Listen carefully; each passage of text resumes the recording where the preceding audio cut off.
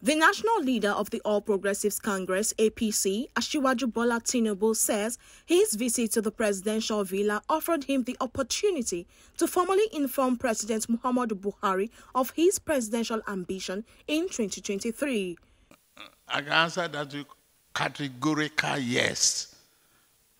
I've informed the president of my intention, but I've not informed the Nigerians yet. I'm still consulting and uh, I have no problem consulting and I've not set a parameter of uh, limitation to the extent of uh, how many people will I con consult. You will soon hear, all you want to hear is a categorical declaration.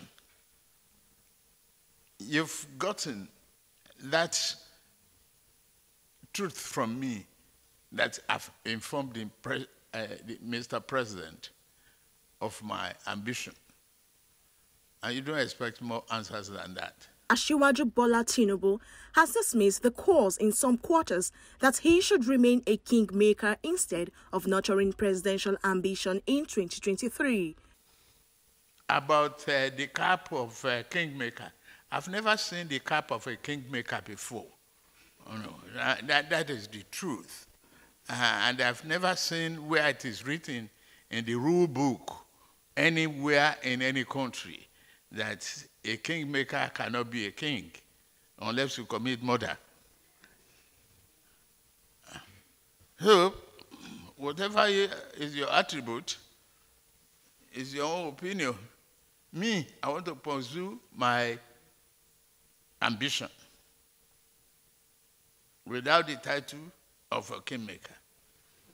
You can write your literature and your story based upon your own perception. Thank you very much.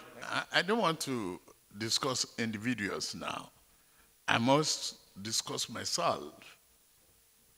I have the confidence, the vision, the capacity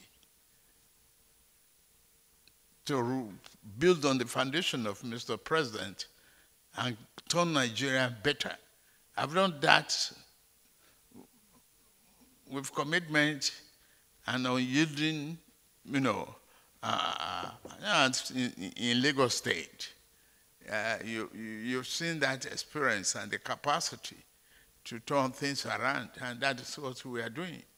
You know, uh, the confusion, the uh, drift of, of, the past in, in PDP is being corrected, and you can't, you know, uh, take away from that, you know, uh, as we are today. Go back to the data on how many barrels of oil were we producing when we first came in, what it is today. We cannot, even at the time we, we came in, we, we did not pay the counterpart fund to start our rail line. Today, you enjoy the comfort of having rail from Lagos to Ibadan. You have the Kaduna, and you have uh, the one for Kano still uh, uh, on the aggressive a pipeline. You see excellent infrastructure. I just come from uh, Azare, and I've seen good roads.